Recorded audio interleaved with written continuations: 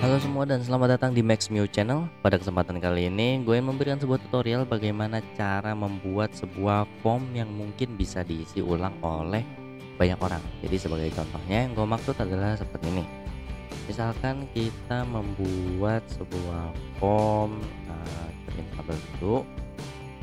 Ya, Kemudian di sini kita kita contoh aja itu ya. Misalkan di sini nama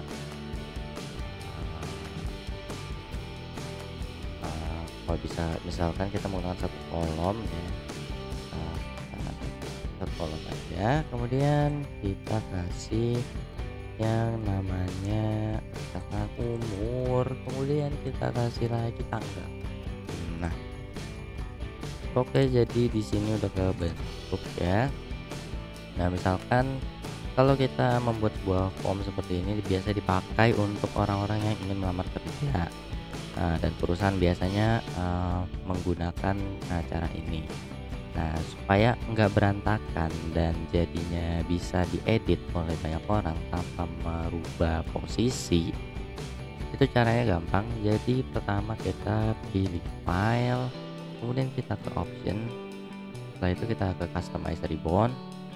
Ini kemudian kita pilih ke di sini uh, main tabnya kita klik developer setelah itu? Setelah aktif kemudian kita klik OK dan di bagian atas teman-teman bisa lihat ada bagian developer.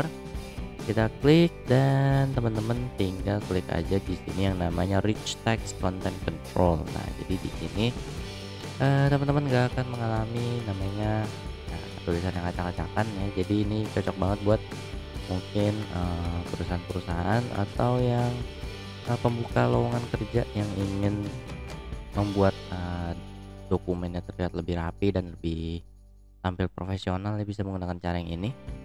Ya kemudian kita klik dan akan muncul seperti ini. Kemudian kita klik lagi di umur kemudian di tanggal kita klik lagi. Dan di nama kita contoh akan ya. Klik.